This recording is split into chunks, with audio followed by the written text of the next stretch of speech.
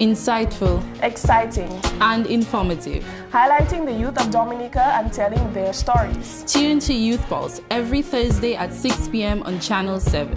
Youth Pulse, a show for the youth by the youth, Brought to you by the National Youth Council of Dominica. and the Government Information Service. Coming to you soon, Youth Pulse.